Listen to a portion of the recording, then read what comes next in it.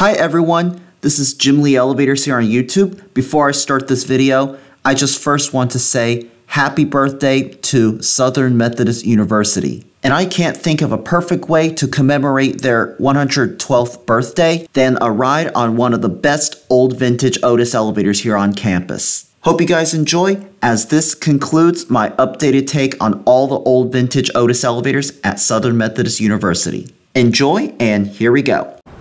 Here we come to the elevator at Storey Hall at Southern Methodist University in Dallas, Texas.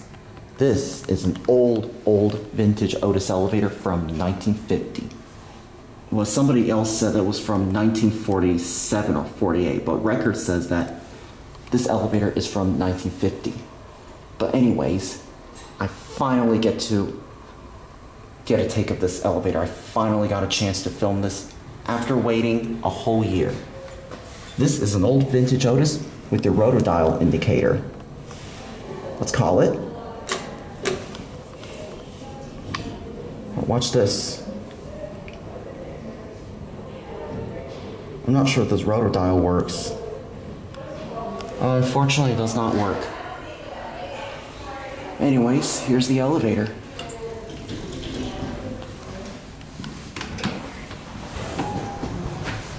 Look at this beauty. This is one of the oldest elevator in the campus. Bridwell Library used to have an old piece of beauty like this one, exactly, almost exactly like this one, but sadly it got ripped out. But thankfully, this elevator is still original. There's your COP, original Otis logo, and there's your floor indicator right there. Let's get a cab here first. This elevator is a single is a single speed top driven traction, so just as a fair note, this elevator stops very, very abruptly. So if the camera shakes, I do apologize. Anyways, there's your ADA compliant phone. Let's take it up to three. Actually, I'm trying to turn the fan off. Uh, unfortunately, I can't. Unfortunately, the switch is broken. Let's take it for a ride. Here we go.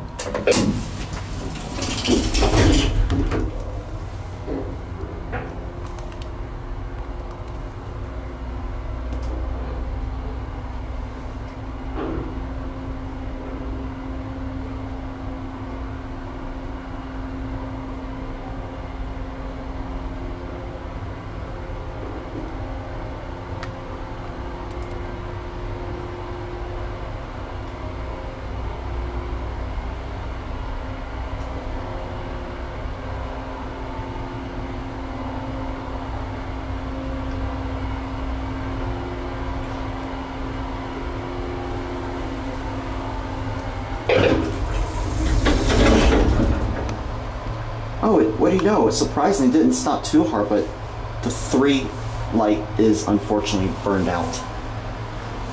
Anyways, we're gonna take this down to B.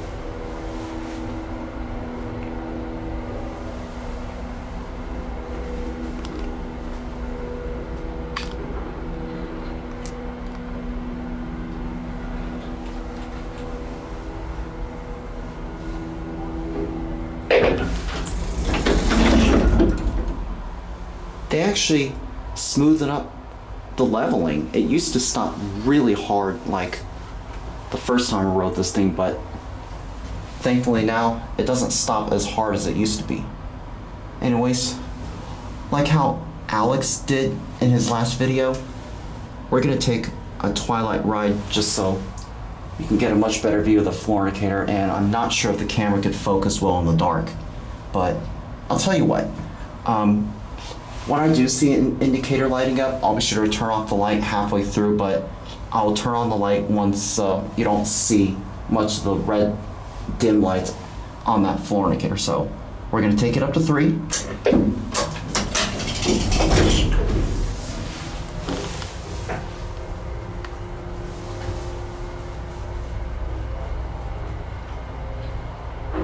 I think M and 2 are the only floor numbers that light up. I'm gonna wait for M to light up. Oh, there it is. Oh, it just went out.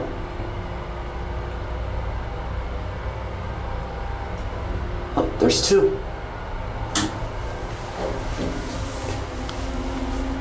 All right. Here we are at the third floor. We're gonna definitely hear that motor again going down.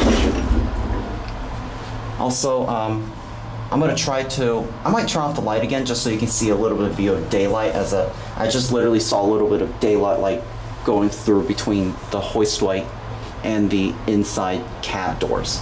So we'll go back down to B.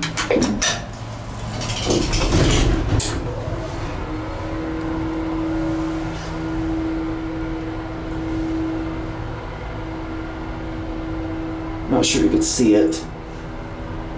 Oh, there it is. I just literally saw it. I just decided to turn the light back on because the camera can't focus in the dark. But man, is this elevator worth filming? This is definitely worth checking out. I'm so glad this elevator is still original. But anyways, here we are back at the basement, and this is where we're gonna end here.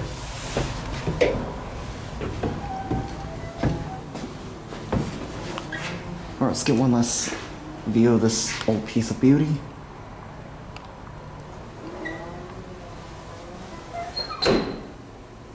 There it goes, and that's it.